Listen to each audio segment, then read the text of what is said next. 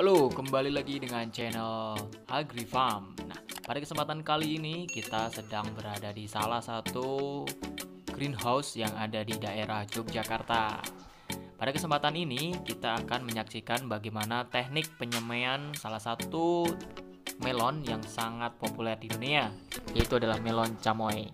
Melon camoy sendiri merupakan 10 buah melon yang paling digemari dunia berasal di daerah kawasan timur, salah satunya berasal dari Korea Selatan. Melon ini memiliki kulit berwarna kuning serta ada terdapat strip-strip warna putih memanjang. Varietas ini bisa dibilang salah satu varietas melon yang cukup manis serta sangat cocok untuk dikonsumsi sebagai salad. Berikut teknik pindah tanam dari penyemaian ke polybag tanam. Ada beberapa orang yang ngambil ini tok.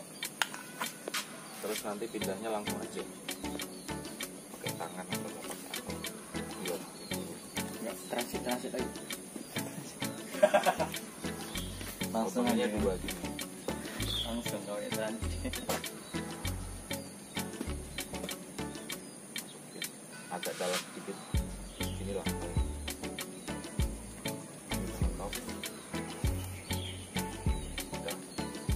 ditekan. Harus ditekan. Kalau nggak dia nanti miring. Ini juga harus ditekan. Udah gitu cuma nanti ada bagian dua orang yang harus bukain benih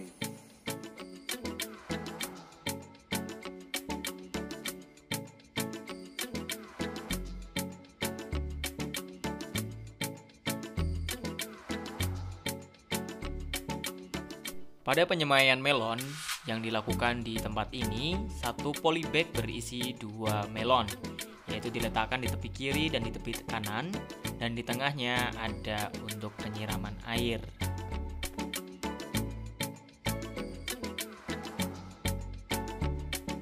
Melon jenis camoy ini memerlukan waktu sekitar 65 hari hingga 70 hari tergantung bagaimana si petani dalam memilih dan merawat si melon ini. Maka kita tunggu lagi video-video selanjutnya perawatan melon camoy hingga nanti berpanen. Jangan lupa like, subscribe, dan share video ini. Semoga bisa menginspirasi banyak orang. Terima kasih, sampai jumpa di video selanjutnya.